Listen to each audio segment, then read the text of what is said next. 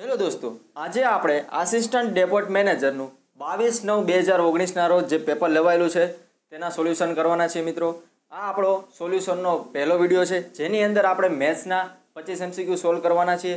આ સિવાય આપણે બીજા બે ત્રણ પાર્ટમાં વીડિયો બનાવશું, જેની અંદર રિઝનિંગ અને બીજા જે ક્વેશ્ચન છે, તે આપણે બધા કવર કરી લેવાના છીએ.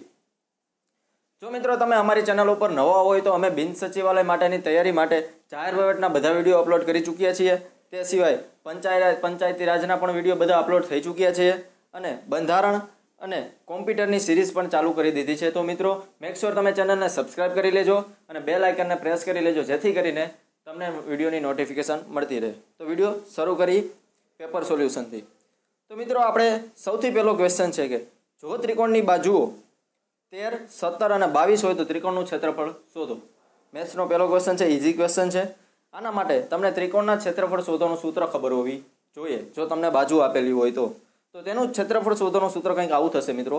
અંડરરૂટની અંદર એસ કાઉન્સની અંદર S minus one S minus B અને એસ માઇનસ સી જ્યાં એસ એટલે કે શું છે? ત્રિકોણની ત્રણેય બાજુઓ A plus B plus C ભાંગા two બરોબર? તો હવે આની અંદર તમે કિંમત મૂકશો કે તેર પ્લસ સત્તર પ્લસ બાવીસ ભાંગા ટુ એટલે એસ બરાબર છવ્વીસ મળશે. તે છવ્વીસની કિંમત તમે સૂત્રની અંદર મૂકશો તો એસ બરાબર છવ્વીસ એસ માઇનસ એ એટલે કે છવ્વીસમાંથી તેર જશે તો તેર, છવ્વીસમાંથી સત્તર જશે તો નવ, છવ્વીસમાંથી બાવીસ જશે તો ચાર. અને છવ્વીસ એટલે કે તેર દુ છવ્વીસ કરશું. કેમ કે આપણે અંડરરૂટ કાઢવાનું છે. તો બે તેર છે, નવનું અંડરરૂટ ત્રણ નીકળશે, ચારનું અંડરરૂટ બે નીકળશે. તો તેર ક્રોસ ત્રણ અને બે, બાર આવી જશે અને અંડરરૂટની અંદર બે વધશે એટલે ઇઠ્ઠોતેર રૂટ ટુ એટલે કે આપણો જવાબ બીજો સી ઓપ્શન આવી જશે. તેના પછીનો ક્વેશ્ચન છે મિત્રો, પાંત્રીસ હજારનું સાત ટકા વાર્ષિક ચક્રવૃદ્ધિ વ્યાજે બે વર્ષનું વ્યાજ શોધવાનું છે. તો આ પણ એક સિમ્પલ ક્વેશ્ચન છે. હવે આપણને ખબર છે કે ચક્રવૃદ્ધિ વ્યાજ શોધવું હોય તો આપણે આ શોર્ટ ટ્રેકથી વધારે સરળતાથી કરી શકીએ છીએ. સિવાય કે સૂત્રની મદદથી કર્યા સિવાય. સૂત્રથી પણ થાય છે, પરંતુ એની અંદર ગુણાકારનો થોડો પ્રોબ્લેમ થતો હોવાથી આ રીત બેસ્ટ રહેશે. તો આ રીતે છે મિત્રો, પાંત્રીસ હજારનું સાત ટકા એટલે કે પાંત્રીસોના સાત ટકા થશે બસો ને પિસ્તાલીસ. જે પહેલા વર્ષ માટે અને બીજા વર્ષે એટલે વરી પાછા પાંત્રી બસો પિસ્તાલીસના સાત ટકા કરશું મિત્રો. એટલે સત્તર પોઈન્ટ પંદર આવશે. અને જે આપણા નિયમો મુજબ પાંત્રીસો ને એક વડે, બસો પિસ્તાલીસને બે વડે અને સત્તરસો ને સત્તર પોઈન્ટ પંદરને એક વડે ગુણવાનું છે. પરંતુ મિત્રો આપણે માત્ર ને માત્ર વ્યાજ જોતું હોવાથી પાંત્રીસો એની અંદર એડ કરશું નહીં. એટલે કે બસો પિસ્તાલીસ ગુણ્યા બે પ્લસ સત્તર પોઈન્ટ પંદર એટલે કે પાંચસો સાત પોઈન્ટ પંદર એટલે કે એપ્રોક્સિમેટ પાંચસો સાત જવાબ આવશે. એટલે કે આપણો એ ઓપ્શન સાચો રહેશે. ઇઠોતેરમો ક્વેશ્ચન છે મિત્રો, એક વસ્તુને બસો સિત્તેરમાં વેચતા દસ ટકા ખોટ જાય છે. જો વસ્તુને તેટલી, કેટલી કિંમતે વેચતા? વીસ ટકા નફો થાય. તો આ પણ એક સહેલો ક્વેશ્ચન છે મિત્રો. હવે મિત્રો, વીસ ટકા નફો મેળવવો હોય તો સો રૂપિયાની વસ્તુને આપણે એકસો ને વીસે વેચવી જોઈએ. અને દસ ટકા ખોટ ગઈ છે એનો મતલબ કે આપણે સો રૂપિયાની વસ્તુને નેવું રૂપિયામાં વેચી છે. તો આપણે ડાયરેક્ટ સૂત્ર મૂકી શકીએ કે બસો સિત્તેર ગુણ્યા એકસો વીસના છેદમાં નેવું. જો મિત્રો તમે આ પ્રકારની એક્ઝામ આપતા હોય તો તમને ડાયરેક્ટ આ વસ્તુ ખબર પડી જવી જોઈએ. કેમ કે પેપર બહુ લેન્ધી હતું. એની અંદર જો તમે આવી શોર્ટકટ ટ્રીકનો ઉપયોગ ના કરો તો એક કલાકની અંદર માંડ તમે ચાલીસથી પચાસ એમસીક્યુ સોલ્વ કરી શકો. બરાબર મિત્રો? તો આની અંદર મેથ્સ અઘરું નહોતું. ઘણા બધાને અઘરું લાગેલું છે. પરંતુ મિત્રો ટાઈમ મેનેજમેન્ટ અને જોશો તમારી પાસે ટ્રીક હતી હશે ને, તો પેપર મીડિયમ મીડિયમ જ હતું. તો હવે વાત કરીએ બસો સિત્તેર ગુણ્યા એકસો વીસના છેદમાં નેવું. તો આપણે આવશે ત્રણસો સાઠ એટલે કે સી ઓપ્શન આવશે. જો મિત્રો તમે આમ કરો તો પણ થઈ જાય કે દસ ટકા કોટ કે મતલબ કે સો રૂપિયાની વસ્તુને નેવું રૂપિયામાં વેચી હશે. તો બસો સિત્તેરની મૂળ કિંમત કેટલી હશે? તો તમે પહેલાં મૂળ કિંમત શોધી લ્યો. તો તમને મૂળ કિંમત મળે. એને સો ને એકસો વીસમાં વેચો. તો મૂળ કિંમતને કેટલામાં વેચો? તો પણ આ જ આવશે મિત્રો. પરંતુ આ થોડું લેન્થી થશે તો આટલું વસ્તુ ડાયરેક્ટ માઇન્ડમાં થઈ જવી જોઈએ. એના પછીનો ક્વેશ્ચન છે મિત્રો સાત મજૂરો આઠ દિવસમાં બેતાલીસ મીટરની દિવાલ ચણે છે. તો કેટલા મજૂરો છ દિવસમાં પિસ્તાલીસ મીટરની દિવાલ ચણી શકે? તો આ પ્રકારના ક્વેશ્ચન આપણે જૂનું પેપર સોલ્યુશન કર્યું તો તેની અંદર પણ જોયા હતા. જો મિત્રો તમે જૂના ક્વેશ્ચન પેપર જોયેલા હશે, તો પણ તમને આની અંદર ઘણું બધું આવડી ગયું હશે. તો આ રીતે છે કે સાત મજૂરો આઠ દિવસ કામ કરે છે. કુલ ટોટલ કામ કેટલું છે? તો બેતાલીસ. કંઈક આ પ્રકારનું સૂત્ર આવે. અને છેદમાં છ ગુણ્યા છ દિવસ છે. તો છ દિવસ છ ગુણ્યા મજૂરો. એની છે પિસ્તાલીસ દિવસની અંદર કામ કરાવવું છે. તો કંઈક આ પ્રકારનું ફોર્મેટની અંદર તમે સૂત્ર મૂકો અને ક્વેશ્ચન માર્ક એટલે કે મજૂરોની સંખ્યા તમને મળી જાય. હવે તમે આને એનું સાદુરૂપ આપો એટલે સિમ્પલથી રીતે દસ જવાબ આવે. એટલે કે આપણો બી ઓપ્શન સાચો રહેશે.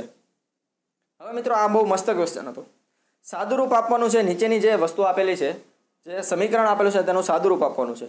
હવે જો મિત્રો તમે આ પ્રકારના ક્વેશ્ચન તમે હવે અઢાર તરી ચોપન પ્લસ પંચાવનના છેદમાં ત્રણ ને એ રીતે કરશો ને, તો અઘરું થઈ જશે અને તમે ઓપ્શનની અંદર પણ જોશો. તો ઓપ્શનની અંદર પણ તમને પોઈન્ટમાં જવાબ આપેલા છે. અપૂર્ણાંકની અંદર જવાબ આપેલા નથી. તો વળી પાછો તમારે અપૂર્ણાંકને પોઈન્ટમાં કરવા પડે. તો આ પ્રકારના ક્વેશ્ચન સોલ્વ કરવો હોય, તો કંઈક આ પ્રકારે તમે દાખલો કરી શકો. અઢાર પ્લસ સત્તર માઇનસ નવ. એ જે પૂર્ણાંક છે તેને આગળ લઈ શકો છો અને પ્લસ અપૂર્ણાંકનો સરવાળો તમે સાઈડમાં પાછળ કરી શકો છો. જો તમને આ વસ્તુ ખબર હોય અને ઝડપથી તમને યાદ આવી જાય એક્ઝામની અંદર કે તમે એમસીક્યુ સોલ્વ કરેલા હોય પ્રેક્ટિસ હોય, તો તમે તરત જવાબ લાવી શકો. બાકી તમે આની અંદર તમારે ટાઈમ બહુ વયો જાય મિત્રો. તો અઢાર પ્લસ સત્તર માઇનસથી છ જશે એટલે કે છવ્વીસ આવશે. પ્લસ કાઉન્સની અંદરનું આપણે સાદુરૂપ આપશું. તો સાઠ લસા થશે. તો ત્રણ એટલે કે વીસ તરી સાઠ થશે. તો એ રીતે વીસ પ્લસ ચોવીસ માઇનસ પિસ્તાલીસ. એ રીતે સિમ્પલ લસા લેશું. તો જોશું કે છવ્વીસ માઇનસ એકના છેદમાં સાઠ આવ્યું. છવ્વીસ માઇનસ એકના છેદમાં. હવે એકનો સાઠમો ભાગ આપણે છવ્વીસમાંથી બાદ કરવાનો છે. હવે મિત્રો ઓપ્શન જુઓ. હવે છે પચીસ પોઈન્ટ અઠ્ઠાણું સી ઓપ્શન છે છવ્વીસ પોઈન્ટ પચાસ. તો આપણે છવ્વીસમાંથી બાદ કરવાના છે તો સી ના આવે. ડી પણ ના આવે અને બી પણ ના આવે. તો આપણને ડાયરેક્ટ ખબર પડી જાય મિત્રો કે ઓપ્શન એ આવશે. ઓકે? તો કંઈક આ રીતે તમે ટ્રીકથી કરો તો તમે ઝડપથી આવડી જાય અને સાચા પડે. હવે એના પછીનો ક્વેશ્ચન પણ બહુ મસ્ત ક્વેશ્ચન છે મિત્રો. અપૂર્ણાંકની વાત કરેલી છે તો કયો અપૂર્ણાંક સૌથી નાનો છે? હવે જો આ પ્રકારના ક્વેશ્ચન બધાને આવડતા હોય, પરંતુ ટ્રીક સાથે કરવાનો હોય મિત્રો. કેમ કે આની અંદર તમને ખબર છે ટાઈમ બહુ જ ઓછો છે. જેને પેપર આપેલો છે તે જાણતા હશે કે ભાઈ ટાઈમની કેવી કટોકટી થઈ હશે. અગિયારના છેદમાં સત્યાવીસ, પંદરના છેદમાં ઓગણત્રીસ, સત્તરના છેદમાં સાડત્રીસ અને તેત્રીસના છેદમાં સુડતાલીસ, કઈ સંખ્યા નાની છે? તો હવે મિત્રો જુઓ. અગિયાર અને અંશ અને છેદને નિહાળો. અગિયાર અને સત્યાવીસ એટલે અગિયાર દુ બાવીસ પ્લસ સત્યાવીસ. તો ડબલ કરતાં પણ વધારે છે. હવે બીજો અપૂર્ણાંક જુઓ તો પંદર દુ ત્રીસ થાય. એના કરતાં ઓછા છે. એનો મતલબ કે આ અપૂર્ણાંક રહ્યો તે પોઈન્ટ પાંચ કરતાં મોટો હશે. પંદરના છેદમાં ઓગણત્રીસ છે તે પોઈન્ટ પાંચ કરતાં મોટા થવાના છે. એના સિવાયનો બીજો જોવો. સત્તર દુ ચોત્રીસ. તો આપણે જોઈ શકીએ તો ચોત્રીસ પ્લસ ત્રણ. કેમ કે એના ડબલ કરતાં પણ જો છેદ મોટો હોય તો પાંચ પાંચ કરતાં જવાબ નાનો આવે. સેમ વસ્તુ પહેલાંની અંદર થશે. તો આપણે બે જોયા કે ભાઈ નાના આ બે છે. અને તે એના પછીનો ડીમો જોશો તો તમને ઓટોમેટિક ખબર પડી જશે. ભાઈ તેત્રીસ દુ છાસઠ. એના કરતાં છેદ ઘણો નાનો છે. તો આ અપૂર્ણાંક આ બધા કરતાં મોટો હશે. તો હવે આ બધાના ભાંગાકાર કરવા જવાય નહીં. માત્ર ને માત્ર તમે એ અને સીનો ભાંગાકાર કરો. આપણે ખબર છે કઈ રીતે ભાંગાકાર કરવાનો છો? એકસો દસ ભાંગ્યા સત્યાવીસ કરો અને એકસો ને સિત્તેર ભાંગ્યા સાડત્રીસ કરો. તો પણ તમને ખબર પડી જાય. અને મિત્રો, તે ના કરવું હોય ને તો પણ તમને ખબર પડી જાય, કેમ કે અગિયાર દુ બાવીસ પ્લસ પાંચ છે મિત્રો. અને જ્યારે સત્તર દુ ચોત્રીસ પ્લસ ત્રણ છે. તો તમને ખબર પડી જાય કે અગિયારના છેદમાં રહ્યો એ એ અપૂર્ણાંક નાનો થશે. તો જો તમે ભાંગાકાર કરી તો પણ zero point four zero seven આવશે અને સીની અંદર ઝીરો પોઈન્ટ પિસ્તાલીસ આવશે. તો બસ આવી રીતે ખાલી ટ્રીક ભાંગાકાર કર્યા વિના પણ તમને ખબર પડી જાય કે કઈ સંખ્યા નાની છે. તો એની અંદર એ ઓપ્શન આવશે એક્યાસીની અંદર. હવે બીજો બ્યાસીમો ક્વેશ્ચન છે મિત્રો. બે સંખ્યાઓનો ગુસા અને લસા અનુક્રમે ચૌદ અને બસો એંસી હોય, તો જે એક સંખ્યા છપ્પન છે તો બીજી સંખ્યા શોધો. આ પણ બહુ ઇઝી ક્વેશ્ચન હતો. એના માટે એક સૂત્ર છે, તમને ખ્યાલ હોવી જોઈએ. લસા ગુણ્યા ગુસા બરાબર, તે બે સંખ્યાનો ગુણાકાર થાય. આ સિમ્પલ સૂત્ર તમને ખબર હોવી જોઈએ. તમે ડાયરેક્ટ આપી કરી શકો કે ભાઈ એક લસા આપેલો છે ચૌદ, ગુસા આપેલો છે છ બસો એંસી અને બેના ગુણાકારની અંદર એક સંખ્યા આપેલી છે અને ત્રીજી સંખ્યા શોધ સોરી બીજી સંખ્યા શોધવાની છે. તો આપણે આ રીતે કંઈક ભાંગાકાર કરશું તો સિત્તેર જવાબ આવશે. તો એટલે કે સી ઓપ્શન આપણો સાચો પડશે. લંબાઈ ત્રણ મીટર છે, પહોળાઈ બે મીટર છે અને જાડાઈ પચીસ સેન્ટીમીટર ધરાવતા લંબ ઘનાકાર પથ્થરનું ઘનફળ કેટલું? તો મિત્રો, આપણને ખબર છે ભાઈ, ઘનફળનું, ઘનફળ શોધવું હોય તો લંબાઈ ગુણ્યા પહોળાઈ ગુણ્યા ઊંચાઈ કરી દેવાની છે. તો સિમ્પલ વસ્તુ, ત્રણ ગુણ્યા બે ગુણ્યા પચીસ. પરંતુ મિત્રો, પચીસ સેન્ટીમીટરની અંદર છે. તો એની અંદર માત્ર ને માત્ર પચીસને તમે મીટરમાં ફેરવી દો. ખબર છે આપણે મીટર અને સેન્ટીમીટરનો રિલેશન તો પચીસ ભાગ્યા સો કરો એટલે તમને સેન્ટીમીટરની જવાબ મળી જાય ને તમે ગુણાકાર કરો. તો છના છેદમાં ચાર એટલે કે એક પોઈન્ટ પાંચ ઘન મીટર જવાબ આવે એટલે કે આપણો સી ઓપ્શન સાચો રહેશે. ચોર્યાસીમો ક્વેશ્ચન છે. વીસ હજારનું નવ માસનું ચાર ટકાના વાર્ષિક દરે ચક્રવૃત્તિ વ્યાજ કેટલું થાય? આ પણ બહુ મસ્ત ક્વેશ્ચન છે મિત્રો. હવે કીધું છે ચક્રવૃત્તિ વ્યાજ શોધવાનું છે. એમાં પણ વ્યાજ ત્રણ ત્રણ મહિને ઉમેરાય છે. હવે મિત્રો, આ પ્રકારનો ક્વેશ્ચન તમે જો સૂત્રની મુજબથી કરવા જાઓ કે એનું સૂત્ર મૂકો તો તમે બહુ કોમ્પ્લિકેટેડ થઈ જાય. એની અંદર જે આંકડા આવે, ભાંગાકાર, ગુણાકાર કરવો વિધાઉટ કેલ્સી તે થોડુંક અઘરું થઈ જાય ને આપણો ટાઈમ પણ વેસ્ટ થતો રહે. આના માટે થોડુંક માઇન્ડ વાપરીને ક્વેશ્ચન કરવાનું હોય તો જુઓ કઈ રીતે છે. ચાર ટકાના વ્યાજ દરે છે. વાર્ષિક ચારના, ચાર ટકાના વાર્ષિક દરે છે. તો એનો મતલબ કે ત્રિમાસિક કેટલું વ્યાજ હશે? તો એને ભાંગ્યા બાર, એટલે કે એક મહિનાનું મળે અને એને ગુણ્યા ત્રણ કરી દેશું, એટલે કે ત્રિમાસિક વ્યાજ મળશે. તો ત્રિમાસિક વ્યાજ એટલે કે એક ટકા થશે. ખબર પડી છે મિત્રો? શું કરેલું છે? ચાર ભાંગ્યા બાર કર્યા એટલે એક મહિનાનું મળી ગયું અને એને ગુણ્યા ત્રણ કર્યા કે ત્રણ, એક, ત્રણ મહિનાનું વ્યાજ મળી ગયું. ત્રણ મહિને એક ટકા ઉમેરાવાનું છે. અને આવી પ્રોસેસ આપણે કેટલી વાર કરવાની છે? ત્રણ વાર. કેમ કે આપણે ત્રણ મહિનાને અંતે જોઈએ છે. નહીં કે એક વર્ષના અંતે, મિત્રો. આપણે ત્રણ મહિનાની, નવ માસની અંતર જોઈએ છે. નવ મહિનામાં. એટલે ત્રણ ત્રણ ત્રણ. એ રીતે ત્રણ વાર ઉમેરીશું. તો વીસ હજારના એક ટકા, એટલે કે બસો. બીજી વાર વળી પાછા વીસ હજારના એક ટકા, એટલે કે બે. અને વળી પાછા ત્રીજી વાર બેના એક ટકા, એટલે કે ઝીરો પોઈન્ટ ઝીરો બે. આ રીતે થશે. અને આપણને ખબર છે કે કઈ રીતે પ્રોસેસ ચાલે છે. One one two one. નીચે જો મેં તમને શ્રેણી બતાવેલી છે એ રીતે છે. જો એની અંદર ચાર સંખ્યા હોય તો વન થ્રી થ્રી વન વડે ગુણવાનું આવે. તો આપણે આને વન થ્રી થ્રી વડે ગુણશું એટલે કે બસો ગુણ્યા ત્રણ એટલે કે છસો, બે ગુણ્યા ત્રણ એટલે કે છ, અને ઝીરો પોઈન્ટ ઝીરો બે ને આપણે નેગ્લેક્ટ કરી દઈશું એટલે છસો ને છ વ્યાજ આવે. હવે જો મિત્રો તમે વીસ હજાર ઉમેરો તો તો વ્યાજ મુદલ મળી જાય. બીજું કશું છે ને વીસ હજાર છસો છ વ્યાજ મુદલ છે. પરંતુ આપણે વ્યાજ જોતું હોય તો માત્ર ને માત્ર છેલ્લાનો ગુણાકાર કરશું. આના પહેલાંની અંદર જ્યારે આપણે સોલ્યુશન કર્યું હતું, ત્યારે એની અંદર આપણે વન ટુ વનનો ઉપયોગ કરેલો હતો. કેમ કે તે માત્ર બે વર્ષ માટે હતું. હવે એની અંદર જો હજી એકવાર પ્રોસેસ કરીએ તો આપણે નીચેની શ્રેણી લેવી પડે. One four six four one okay મિત્રો? અને શ્રેણી કઈ રીતે બનાવેલી છે? તો સૌથી ઉપર વન પછી નીચે વન ટુ વન પછી વન જ આવે પહેલાં તો. પછી વન પ્લસ ટુ એટલે થ્રી અને બીજી બાજુ ટુ પ્લસ વન એટલે થ્રી અને લાસ્ટની અંદર વન અને આલ બાજુ પણ વન પછી વન પ્લસ થ્રી એટલે કે ફોર થ્રી પ્લસ થ્રી એટલે કે સિક્સ અને થ્રી પ્લસ વન એટલે ફોર અને વન આવી રીતે તમે જેટલા પણ પૂછાય ત્યાં સુધી બનાવી શકો છો. પરંતુ મોસ્ટ ઓફ બે વર્ષે કે ત્રણ વર્ષનું જ પૂછતા હોય છે, એટલે કે વન ટુ વન અને વન થ્રી થ્રી વન યાદ રાખી લેવાનું. હવે પછીનો ક્વેશ્ચન છે. છ્યાસીમો ક્વેશ્ચન છે મિત્રો. નીતા અને ગીતાની હાલની ઉંમરનો ગુણોત્તર ત્રણ જેમ સેવન છે. ચાર વર્ષ પછી ગીતાની ઉંમર ઓગણચાલીસ વર્ષ થશે. તો ચાર વર્ષ પહેલાં નીતાની ઉંમર કેટલી હશે? તો ઉંમરનો ગુણોત્તર સેમ સેલો ક્વેશ્ચન છે મિત્રો. ત્રણ જેમ સાત આપેલો છે. ગુણોત્તર. એનો મતલબ કે તેઓની ઉંમર થ્રી એક્સ અને સાત એક્સ છે. મિત્રો, મેં તમને અગાઉના વિડીયોની અંદર જે તમે જોયા હશે તો તમને ખ્યાલ જ હશે કે આવા પ્રકારના ક્વેશ્ચન લાસ્ટ યર એક્ઝામની અંદર પણ પૂછાય છે. બરોબર મિત્રો, તો અઘરું છે નહીં. થ્રી એક્સ અને સેવન એક્સ તેની ઉંમર છે. ગીતાની ચાર વર્ષ પછીની ઉંમર જોતી હોય તો હાલની ઉંમર તો સેવન એક્સ આપણને ખબર પડી ગઈ. ચાર વર્ષ પછીની ઉંમર તો સેવન એક્સ પ્લસ ફોર બરાબર કેટલા થશે? ઓગણચાલીસ આપેલી છે આપણને રકમની અંદર. તો તમને એક્સ બરાબર પાંચ મળી જાય. એક્સ બરાબર પાંચ મળી જાય તો તમને ગીતા અને નીતાની બંનેની હાલની ઉંમર મળી જાય. પૂછેલું છે આપને ક્વેશ્ચનની અંદર કે આપણે નીતાની ચાર વર્ષ પહેલાંની ઉંમર જોતી હોય છે. તો નીતાની હાલની ઉંમર ત્રણ ગુણ્યા પાંચ, પંદર છે. તો ચાર વર્ષ પહેલાંની ઉંમર અગિયાર, એટલે કે આપણો ડી ઓપ્શન આવશે મિત્રો. ઓકે? તે પણ એક સિમ્પલ ક્વેશ્ચન હતો.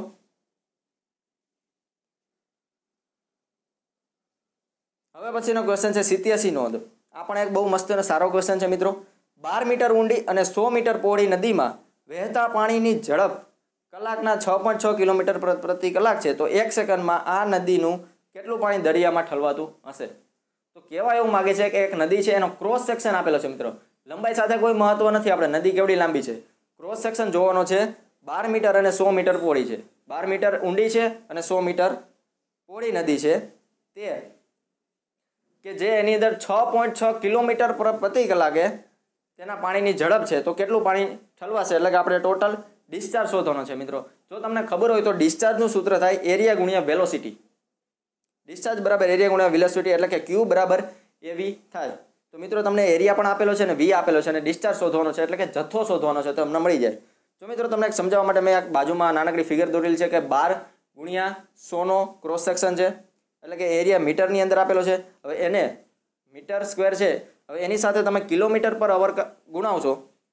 તો તમને ખબર પડે કે ભાઈ મીટર ક્યુબ પર સેકન્ડ એકમની અંદરથી પણ તમે જાઓ તો પણ તમને ખબર પડી જાય.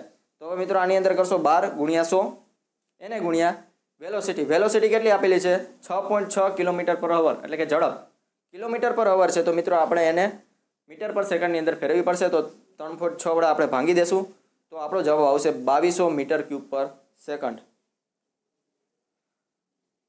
એટલે કે આપણો ડી ઓપ્શન સાચો રહેશે. સોરી સેકન્ડ નહીં આવે, બાવીસો મીટર ક્યુબ આવશે. આટલું પાણી એક સેકન્ડની અંદર નદીમાં ઠલવાતું હોય છે. આ એક નવો અને એક સારો ક્વેશ્ચન હતો. હવે સિમ્પલ ક્વેશ્ચન એના પછીનો પણ એક. એક હોડી પ્રવાહની દિશામાં સોળ પોઈન્ટ પાંચ કિલોમીટરની પ્રતિ ઝડપથી જાય છે અને પ્રવાહની વિરુદ્ધ દિશામાં અગિયાર પોઈન્ટ પાંચ કિલોમીટરની ઝડપથી ગતિ કરે છે. તો પ્રવાહનો વેગ શોધવાનો છે. હવે મિત્રો, આ પ્રકારના ક્વેશ્ચનો એટલે આપણને ખબર હોય કે કઈ રીતે છે. પહેલાં તો હોડીની ખુદની જેટલી ઝડપ હશે તે ઝડપ હશે. પરંતુ જો તે પ્રવાહની દિશામાં જશે તો પ્રવાહની પણ કંઈક ઝડપ હશે તો બંનેનો ઝડપનો સરવાળો થશે. એટલે કે ધારો કે હોળીની ઝડપ એક્સ છે અને પ્રવાહની ઝડપ વાય છે, તો એક્સ પ્લસ વાય બરાબર સોળ પોઈન્ટ પાંચ થાય કે જે આપણે પ્રવાહની દિશામાં ઝડપ આપેલું હોય ને મિત્રો સોળ પોઈન્ટ પાંચ, એનો મતલબ એમ સમજવાનો કે હોળી પ્લસ પ્રવાહની ઝડપ બરાબર સોળ પોઈન્ટ પાંચ છે. હવે વિરુદ્ધ દિશામાં ઝડપ આપેલી છે મિત્રો અગિયાર પોઈન્ટ પાંચ. એનો મતલબ છે કે હોળીની જે ઝડપ છે તે તો કોન્સ્ટન્ટ જ રહેવાની છે, જેટલી પહેલાંમાંથી તે જ છે. અને પરંતુ પ્રવાહની ઝડપ વિરુદ્ધ દિશામાં છે તો માઇનસ થશે. તો એક્સ માઇનસ વાય બરાબર અગિયાર પોઈન્ટ પાંચ આવે. તો મિત્રો આપણે ડાયરેક્ટ આપણે વાય જોતો હોય, તો ડાયરેક્ટ આપણે કરી દેવું જોઈએ માઇન્ડની અંદર. સેટ જ હોય કે સોળ પોઈન્ટ પાંચમાંથી અગિયાર પોઈન્ટ પાંચ બાદ કરવાના છે, એટલે કે પાંચ આવશે, એને બે વડે ભાંગી દેવાના છે, એટલે કે બે પોઈન્ટ પાંચ જવાબ આવે. એ પ્રવાહનો વેગ હોય, બરોબર? જો તમને ડાયરેક્ટ ન ખબર પડે તો આ બાજુમાં મેં તમને સૂત્ર પણ આપેલું છે. સમીકરણ બનાવી લીધા બે, એક્સ પ્લસ વાય બરાબર સોળ પોઈન્ટ પાંચ અને એક્સ માઇનસ વાય બરાબર અગિયાર પોઈન્ટ પાંચ. જ્યાં એક્સ એટલે કે હોડીની ઝડપ અને વાય એટલે કે પ્રવાહની ઝડપ છે. તો તેના ઉપરથી પણ તમે શોધી શકો છો. નેવ્યાસીમો ક્વેશ્ચન છે મિત્રો. નળ. એ ટાંકીને આઠ મિનિટમાં, નળ બી બાર મિનિટમાં અને નળ સી છ મિનિટમાં ટાંકી ખાલી કરી દે છે. તો ત્રણેય નળ એકસાથે ચાલુ કરવામાં આવે તો ટાંકી કેટલા સમયમાં ખાલી થશે? તો મિત્રો ડાયરેક્ટ ગણવા મંડાય નહીં, કેમ કે આપણે આવડે છે, તો ડાયરેક્ટ આપણે ચાલુ કરી દઈએ કે ભાઈ એકના છેદમાં આઠ, એકના છેદમાં બાર. એવું ના કરાય. તમે ઓપ્શન જોઈ લેવાય પહેલાં શાંતિથી કે બાર મિનિટ, ચોવીસ મિનિટ, અઢાર મિનિટ અને ઉપરનામાંથી એક પણ નહીં આપેલું છે. તો આપણે ઓપ્શન જોઈને જ ખબર પડી જાય કે નળ એકલો આઠ મિનિટમાં ખાલી કરી દેશે, બાર મિનિટમાં ખરીદ કરી દેશે અને છ મિનિટમાં ખાલી કરી દેશે. સી. તો હવે જો ત્રણેયને સાથે કરીએ તો ટાઈમની અંદર વધારો તો થવાનો છે નહીં. ઓછા ટાઈમની અંદર પૂરું થશે, પરંતુ ઓપ્શનની અંદર એવું કશું છે નહીં. તો જવાબ આવે આપણે ડી પણ નહીં. આમ થાય જો તમે ચેક કરવા માગતા હોય તો તમે આ રીતે કરી શકો છો. આપણે આ રીત તો જાણતા જ હોઈએ છીએ. બરોબર? તો આપણો ડાયરેક્ટ ઓપ્શન આવશે ડી આવી બધી વસ્તુનો જો તમે ખ્યાલ રાખો એક્ઝામની અંદર, તો તમે સારી રીતે પેપર પૂરું કરી શકો છો.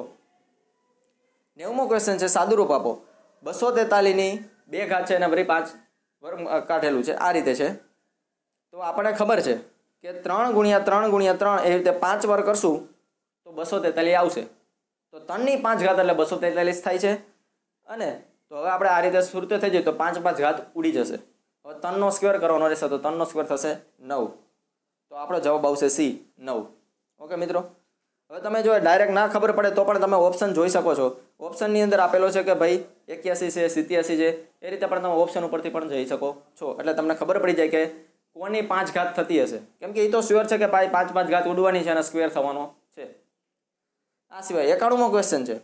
રીતેશે સો રૂપિયામાં પચીસ નારંગી ખરીદી અને સો રૂપિયાની વીસ નારંગીના ભાવે વેચી દીધી, તો તેને નફો કેટલો થાય? તો મિત્રો, આ પ્રકારનો ક્વેશ્ચન લાસ્ટ યરની અંદર પણ પૂછાયેલો તો આપણે સોર કલર હતા એની અંદર. મેં તમને કીધું હતું કે જેટલો ફાયદો થતો હોય ને, પચીસ નારંગી ખરીદી હતી અને વીસ મેં વેચી, તો પાંચ નારંગીનો ફાયદો થયો. છેદમાં વેચાણ કિંમત કેટલી છે? તો પાંચના છેદમાં વીસ.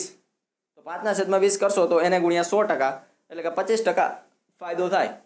આવી રીતે ડાયરેક્ટ ખબર પડી જાય. જો મિત્રો ડાયરેક્ટ ના ખબર પડે, ન કરવું હોય, તો પણ ખબર પડે કે સો રૂપિયામાં પચીસ ખરીદી છે અને સો રૂપિયામાં વીસ વેચી છે. બરોબર મિત્રો? તો હવે આપણે ખરીદ જેટલી નારંગી સરખી કરી દેવી જોઈએ. પચીસ ખરીદી છે? બરોબર? તો નારંગી સરખી કરી દેવી જોઈએ. તો આપણને ખબર છે કે ભાઈ, પચીસ નારંગીની પડતર કિંમત સોરી સો રૂપિયામાં વીસ વેચી છે. એનો મતલબ શું થયો? કે એક નારંગી પાંચ રૂપિયામાં વેચેલી છે. જો આપણે વધારાની પાંચ વેચવી હોય તો? તો એનો મતલબ આપણને ખબર પડી જાય કે એકસો પચીસમાં આપણે પચીસ નારંગી વેચી દીધી. બરોબર મિત્રો? પહેલાં કીધું કે સોમાં પચીસ ખરીદી છે અને એકસો પચીસમાં આપણે પચીસ વેચેલી છે. તો ડાયરેક્ટ ખબર પડી જાય કે સોમાંથી એકસો પચીસ છે તો પચીસ ટકા નફો થશે. પરંતુ મિત્રો આ બધી શોર્ટ ટ્રીક તમારે યાદ રાખવાની હોય છે કેમ કે ટાઈમ બહુ ઓછો હોય છે, તેથી સો ટકાથી જેટલા દાખલા મેથ્સના અંદર સોલ્યુશન કરો તે સારું છે. બિન સચિવાલયની એક્ઝામની અંદર પણ. જેથી કરીને તમારો આની અંદર માર્ક ન જાય ને આની અંદર ટાઈમ વેસ્ટ ના થાય ને તમે આની અંદર પૂરા માર્ક મેળવી શકો. બાણુંમો ક્વેશ્ચન છે મિત્રો જો સાદુરૂપ આપવાનું છે. તો સાદુરૂપ આપવામાં ક્યારેય આવડા મોટા છે તો આપણે ગુણાકારને એવું તો કંઈ કીધું ન હોય. આપણે આની અંદર કંઈક સૂત્રના રૂપમાં જ હોય કે જે આપણે આરામથી સોલ્વ કરી શકીએ. તો હવે વિચારો કઈ પ્રકારનું સૂત્ર થાય છે? તો હવે આપણે બે જ રકમ છે આની અંદર, આઠસો સત્તાવન અને પાંચસો ને સાડત્રીસ. બરાબર? તો આપણે આઠસો સત્તાવન બરાબર એ ધારી લઈએ અને પાંચસો સાડત્રીસ બરાબર બી ધારી લઈ તો આપણે ખબર પડી જાય. કે કઈ રીતની વસ્તુ છે? તો ઉપર આવશે એ ઘન માઇનસ બી ઘન અને છેદમાં આવશે a square plus a b plus b square. હવે મિત્રો, એ ઘન પ્લસ બી ઘનનું સૂત્ર આવડવું જરૂરી છે. એ ઘન માઇનસ બી ઘનનું સૂત્ર થશે. મેં મિત્રો લખેલું છે એ માઇનસ બી કાઉન્સની અંદર a square plus a b plus b square આ સૂત્ર થશે. તો એ ઘન પ્લસ બી ઘન માઇનસ બી ઘનનું સૂત્રની જગ્યાએ તે કિંમત મૂકશી. તો આપણને ખબર છે અંશ અને છેદ સરખા થઈ જશે. તો તે ઉપર નીચે ઉડી જશે. માત્ર ને માત્ર એ માઇનસ બી વધશે. તો એ માઇનસ બી એટલે કે આઠસો સત્તાવનમાંથી પાંચસો ને સાડત્રીસ જાય, તો ત્રણસો વીસ એટલે કે એવો ઓપ્શન આવશે. ઓકે મિત્રો. ત્રાણુંમો ક્વેશ્ચન છે. આ પણ સારો ક્વેશ્ચન તે આપણે દસમાની અંદર આ પ્રકારના ક્વેશ્ચન સોલ્વ કરેલા હતા, મિત્રો. યાદ હોય તો. નદી કિનારાની સામેની કિનારે આવેલા મંદિરનો ટોચનો ઉસ્તેદ કોણ? સાઠ છે. તથા મંદિરની ઊંચાઈ ત્રીસ રૂટ થ્રી મીટર છે. તો નદીની પહોળાઈ શોધવાની છે. તો આની અંદર કશું છે નહીં? તમે એક જગ્યાએ ઊભો છો અને જ્યાં સુધી તમારા મંદિરની ટોચ ઉપર તમારી નજર જાય છે તે બંને વચ્ચેનો એંગલ સાઠ છે. મંદિરની ઊંચાઈ આપેલી છે ત્રીસ રૂટ ત્રણ. તો નીચેની બાજુ શોધવાની છે. એટલે કે જો તમે આ પ્રકારનું ત્રિકોણ બનાવો તો તમને ખબર પડી જાય કે ટેન સાઠ બરાબર સામેની બાજુના છેદમાં પાસેની બાજુ. બરોબર? ટેન સાઈઠ બરાબર તેનું સૂત્ર છે કે સામેની બાજુ છેદમાં પાસેની બાજુ. સામેની બાજુ તમને આપી દીધી છે કે ત્રીસ રૂટ ત્રણ. તો પાસેની બાજુ શોધવાની છે. અને ટેન સાઈઠ બરાબર થશે રૂટ થ્રી. આટલી વસ્તુ તમને ખબર હોય એટલે આની અંદર કંઈ બીજું વધારાનું છે નહીં. તો ટેન બરાબર રૂટ થ્રી મૂકશો એટલે ત્રીસ જવાબ આવશે. એટલે કે આપણો એ જવાબ આવશે ત્રીસ મીટર. એટલે કે જે નદીની પહોળાઈ હોય. બરાબર મિત્રો? ચોરાણુંમાં ક્વેશ્ચન છે. ત્રણ આંકડાઓ થ્રી જેમ ફોર જેમ ફાઇવના ગુણોત્તરમાં છે. જો પ્રથમ અને ત્રીજા આંકડાનો સરવાળો બીજા આંકડા કરતાં બાવન જેટલો વધુ હોય તો મોટો આંક કયો? મેં તમને ત્યારે અગાઉના વિડીયોમાં કીધું હતું કે આ પ્રકારનું કોઈ પણ ક્વેશ્ચન આવે તો કઈ રીતે સોલ્વ કરવાનો છે? આની અંદર જે કંઈ વસ્તુ કીધી છે તે પ્રકારનું સમીકરણ બનાવતા જાઓ એટલે આરામથી સોલ્વ થઈ જાય. ત્રણ રકમ આપેલી છે. થ્રી જેમ ફોર જેમ ફાઇવ છે એનો મતલબ શું છે કે ત્રણેય રકમ થ્રી એક્સ બીજી રકમ ફોર એક્સ અને ત્રીજી રકમ પાંચ એક્સ છે. બરોબર? કીધું છે કે પહેલી રકમ અને બીજી રકમનો સરવાળો. તો કરો મિત્રો સરવાળો. થ્રી એક્સ પ્લસ પાંચ એક્સ એમાંથી પહેલી રકમ બાદ કરતા. તો કરો બાદ. ફોર એક્સ બાદ કર્યા. બાવન મળે છે. તો ઇક્વલ ટુ બાવન. તો આ પ્રકારનું આપણે સમીકરણ મળી ગયું. હવે એ સમીકરણ સોલ્વ કરતા આપણે આવડે. તો ફોર એક્સ બરાબર બાવન થાય ને એક્સ બરાબર તેર મળે. તો હવે આપણે ખબર પડે એક્સ બરાબર તેર મળ્યા. તો મોટા મોટી સંખ્યા હોય પાંચ એક્સ વાળી હોય. બરોબર? અને તે છે પાંચ એક્સ છે, તો પાંચ ગુણ્યા તેર એટલે તેર પચાસ પાસઠ. તો આપણો પાંચ એટલે કે બી ઓપ્શન સાચો રહેશે. એના પછીનો ક્વેશ્ચન છે મિત્રો, સરાસરી વાળો ક્વેશ્ચન છે, પાંચ ધન સંખ્યાઓની સરેરાશ બસો ત્રીસ છે. અને જેની અંદર પહેલી બે સંખ્યાની સરેરાશ બસો અગિયાર છે અને છેલ્લી બે સંખ્યાની સરેરાશ બસો ચાલીસ છે, તો ત્રીજી સંખ્યા શોધવાની છે. હવે મિત્રો, આપણે આની અંદર શું કરશું કે ટોટલ સરવાળો શોધી લેશું. આપણે ખબર છે સરેરાશનું સૂત્ર શું છે? ટોટલ જેટલો સરવાળો છે, એની અંદર જેટલી સંખ્યા છે, બરાબર સરેરાશ આવશે. તો પાંચ સંખ્યાની સરેરાશ બસો ત્રીસ છે, તો પાંચ ગુણ્યા બસો ત્રીસ કરશું. એટલે કે ટોટલ સરવાળો અગિયારસો પચાસ આવશે. હવે પ્રથમ બે સંખ્યાની સરેરાશ બસો અગિયાર છે. એનો મતલબ શું છે? કે પ્રથમ બે સંખ્યાનો સરવાળો કેટલો થશે? બે ગુણ્યા બસો અગિયાર, એટલે કે ચારસો ને બાવીસ. તે પહેલી બે સંખ્યાનો સરવાળો થશે? છેલ્લી બે સંખ્યાનો સરવાળો તે જ રીતે કરતા મિત્રો ચારસો ને એંસી જવાબ આવશે. હવે આપણી પાસે ટોટલ પાંચ સંખ્યાનો સરવાળો છે. પહેલી બે સંખ્યાનો સરવાળો છે. છેલ્લી બે સંખ્યાનો સરવાળો છે. એટલે કે આપણી પાસે ત્રીજી સંખ્યા કેટલી છે તે ખબર નથી. તો સિમ્પલ અગિયારસો પચાસમાંથી ચારસો બાવીસ અને ચારસો એંસી બાદ કરી દે તો આપણે ત્રીજી સંખ્યા એટલે કે બસો અડતાલીસ એટલે કે સી ઓપ્શન આપણો સાચો રહેશે. છન્નુમો ક્વેશ્ચન છે મિત્રો. ત્રેસઠ કિલોમીટર પ્રતિ કલાકની ઝડપે જતી પાંચસો મીટર લાંબી ટ્રેન, ત્રણ કિલોમીટર પર કલાકના ઝડપે જતી ટ્રેનની દિશામાં ચાલતા વ્યક્તિથી સામે પાસેથી કેટલી સેકન્ડમાં પસાર થઈ જશે? તો મિત્રો આની અંદર તમારે શું જોવાનું? એક જ વસ્તુ ધ્યાન રાખવાની કે ભાઈ ટ્રેન અને વ્યક્તિ એ સામસામે દિશામાં આવે છે કે એક જ દિશામાં જાય છે? જો મિત્રો એક જ દિશામાં જતા હોય તો બાદબાકી થશે અને સામસામે આવતા હોય તો તેને ઝડપનો સરવાળો થશે. બાકી સૂત્ર તો સીધું એક જ છે. આપણી પાસે ઝડપ બરાબર અંતરના છેદમાં સમય અને હંમેશા આપણે સમય જ પૂછેલો હોય છે. તો સમય બરાબર અંતરના છેદમાં ઝડપ એટલે કે અંતર પાંચસો મીટર છે. છેદમાં ત્રેસઠ કિલોમીટર માઇનસ ત્રણ. કેમ કે બંને એક જ દિશામાં જાય છે તો આપણે બાદબાકી કરવાની છે. પરંતુ તે કિલોમીટર પર અવરમાં હશે. આપણે તેને મીટર પર સેકન્ડમાં ફેરવીશું. તો સાઠ ગુણ્યા એકના છેદમાં થ્રી પોઈન્ટ સિક્સ કરીશું. તો ત્રણ પોઈન્ટ ઉપર જશે અને આપણે સમીકરણ સોલ્વ કરતા જવાબ ત્રીસ સેકન્ડ આવશે. ઓકે, મિત્રો? સત્તાણુંમો ક્વેશ્ચન છે. એક્સ અને વાય એક કામ વીસ દિવસમાં અને વાય તે કામ બાર દિવસમાં પૂરું કરી શકે છે. એક્સ એ વ્યક્તિ કામ શરૂ કરે છે. પછી ચાર દિવસ પછી વાય વ્યક્તિ જોડાય છે. તો હવે કામ પૂરું કરવામાં કેટલા દિવસ લાગશે? આ પ્રકારનો પણ ક્વેશ્ચન છે મિત્રો. એક્સ અને એક્સ સ્વતંત્ર રીતે વીસ દિવસની અંદર કામ કરશે તો આપણે ખબર છે એક્સના કામ કરવા દર એક્સના છેદમાં વીસ થશે.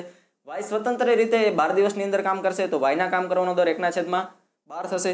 જો એક્સ અને વાય સાથે મળીને કામ કરે તો આપણે ખબર છે એકના છેદમાં વીસ પ્લસ એકના છેદમાં બાર બરાબર આવે. પરંતુ મિત્રો આની અંદર થોડુંક અલગ પૂછેલું છે કે એક્સ પહેલેથી જ કામ શરૂ કરી દે છે જ્યારે વાય રહ્યો ને એ ચાર દિવસ પછી કામ કરે છે. તો ચાર દિવસ પછીના કેટલા દિવસની અંદર પૂરું થઈ જાય તે આપણે શોધવાનું છે. તો મિત્રો, પહેલાં તમે ચાર દિવસ એક્સનું કામ ગણીને એકમાંથી બાદ કરી દો તો પણ ચાલે અને આ રીતે કરો તો પણ થઈ જાય. કે ધારો કે એક્સ હવે ચાર દિવસ પછી એક્સ દિવસ કામ કરશે. એનો મતલબ શું? કે એક્સે ચાર પ્લસ એક્સ દિવસ કામ કરેલું હશે. તો ચાર પ્લસ એક્સના છેદમાં વીસ. કેમ કે એ એક દિવસની અંદર વીસમાં ભાગનું કામ કરે છે. તો ચાર પ્લસ એક્સ દિવસની અંદર કેટલું કરશે? તો ચાર પ્લસ એકના છેદમાં વીસ. પરંતુ વાય તો માત્ર ને માત્ર એક્સ દિવસ જ કામ કરવાનો છે, તો એક્સના છેદમાં વીસ સોરી એક્સના છેદમાં બાર. બરાબર? એક કામ કમ્પ્લીટ થઈ જવાનું છે, તો બરાબર એક કામ. હવે આ વસ્તુને તમને સોલ્વ કરતા આવડે. હવે તમે આની અંદર સોલ્વ કરો તો સિમ્પલ એક્સ બરાબર છ વસ્તુ મળે, એટલે કે ડી ઓપ્શન આવે. હવે એના પછીનો ક્વેશ્ચન છે, સાદુરૂપ આપવાનું છે એક્સનું મૂલ્ય કેટલું? આની અંદર પણ તમે જોઈ શકો છો, આની અંદર તમે સિમ્પલ સોલ્વ કરી શકો છો.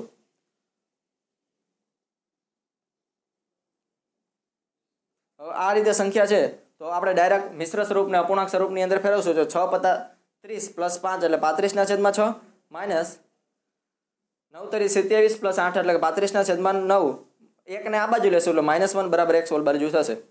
બરાબર મિત્રો? હવે આપણે લસા લેશું. છ તરી અઢાર અને નવ તરી નવ દુ અઢાર, તો છેદમાં અઢાર. હવે મિત્રો આપણે છ તરી અઢાર એટલે કે પાંત્રીસ તરી કરશું માઇનસ પાંત્રીસ ગુણ્યા બે કરશું. તો હવે પાંત્રીસ તરી અને પાંત્રીસ ગુણ્યા બે કરવા જવાય નહીં. પાંત્રીસ ગુણ્યા ત્રણ, માઇનસ પાંત્રીસ ગુણ્યા બે, એટલે કે ડાયરેક્ટ પાંત્રીસ જવાબ આવે. તો ડાયરેક્ટ પાંત્રીસ અને એક છે એને ગુણાવશું, એટલે માઇનસ અઢાર કરી દેશું. જો મિત્રો, આવા તમારે ટાઈમ બચાવવાના હોય, જેટલા બને એટલા. તો એક્સ બરાબર સત્તરના છેદમાં અઢાર, જવાબ આવશે એ બરોબર મિત્રો? હવે આના પછીના બે ક્વેશ્ચન વધેલા છે. નવાણુંમો ક્વેશ્ચન બહુ સારો ક્વેશ્ચન છે મિત્રો. કલ્પેશે રૂપિયા વીસના ડઝનના ભાવે ત્રીસ ડઝન નારંગી ખરીદી. તેમાંથી અડધા ભાગની નારંગી પાંચ પાંચ રૂપિયા પાંચની બેના ભાવે વેચી. એટલે કે પાંચ રૂપિયાની બે નારંગી. બાકી વધેલી નારંગી ત્રીસ જેટલી હતી તે બગડી ગઈ તો તેને ફેંકી દીધી. વધેલી નારંગી રૂપિયા ત્રણની પાંચ મુજબ વેચી, એટલે કે ત્રણ રૂપિયાની અંદર પાંચ નારંગી આવશે. તો કલ્પેશને કેટલો નફો કે ખોટ જાય? આ એક બહુ સારો ક્વેશ્ચન છે મિત્રો નફાખોટનો શાંતિથી રકમ વાંચીને તમારે ધીમે ધીમે ગણવો પડે. મતલબ સમજી વિચારીને ગણવો પડે. હવે વાત કરી લે છે કે એક ડઝનનો ભાવ વીસ રૂપિયા આપેલો છે. પહેલાં જ આપ કીધું છે કે કલ્પેશે વીસના ડઝનના ભાવે એટલે કીધું છે કે ભાઈ એક ડઝનનો ભાવ વીસ છે. ત્રીસ ડઝન નારંગી ખરીદી છે. બરોબર? ત્રીસ ડઝન નારંગી ખરીદી છે. તો એનો મતલબ શું? કે ત્રીસ ગુણ્યા બાર, કેમ કે આપણને ખબર છે કે એક ડઝનની અંદર બાર નારંગી આવવાની છે. ત્રીસ ડઝન ખરીદી છે તો ત્રીસ ગુણ્યા બાર એટલે કે ત્રણસો ને સાઠ નંગ. પીસ, સિંગલ પીસ ત્રણસો સાઠ નંગ ખરીદે છે. તો પરંતુ કેટલાની અંદર ખરીદે છે? ત્રીસ ડઝન ખરીદેલે છે અને એક ડઝનની કિંમત આપેલી છે વીસ રૂપિયા. તો ત્રીસ ગુણ્યા વીસ કરશો એટલે કે છસો રૂપિયા. તો કહેવાનો મતલબ એમ છે કે ત્રણસો સાઠ નંગ છસો રૂપિયામાં એને ખરીદેલા છે. હવે શું થાય છે મિત્રો? હવે ક્વેશ્ચનની અંદર એવું કીધું છે કે તેમાંથી અડધા ભાગની નારંગી રૂપિયા પાંચની બેના ભાવે વેચી. એટલે કે પાંચ રૂપિયાની બે નારંગી વેચી. અડધા ભાગની નારંગી એટલે કેટલી? ત્રણસો સાઠ ટોટલ નારંગી છે. એટલે અડધા ભાગની નારંગી એકસો એંસી. એકસો એંસી વેચી. એની અંદર બે નારંગી પાંચ રૂપિયામાં વેચી. તો એકસો એંસી નારંગી કેટલા રૂપિયામાં વેચી? તો સિમ્પલ ત્રિરાશીનું સૂત્ર મૂકો, તો ખબર પડી જાય કે એકસો એંસી નારંગી ચારસો પચાસ રૂપિયામાં વેચી. તો હવે મિત્રો આપણે સાઈડમાં જઈને લખી નાખી કે એકસો એંસીની ચારસો પચાસમાં વેચી છે. એના પછી કીધું છે કે ભાઈ ત્રીસ નારંગી બગડી ગઈ છે, તો ત્રીસ ફેંકી દીધી. તો હવે એની નીચે આપણે લખશું ત્રીસ, જેની કોઈ કિંમત આવવાની નથી, એટલે કે એનો ફાયદો ઝીરો રૂપિયા. બરોબર? અને એના પછીની કીધું છે કે હવે જેટલી બાકી વધેલી નારંગી છે, તે રૂપિયા ત્રણની પાંચ નારંગી વેચે છે. તો હવે ખબર છે કે હવે દોઢસો નારંગી આપણી પાસે વધેલી છે.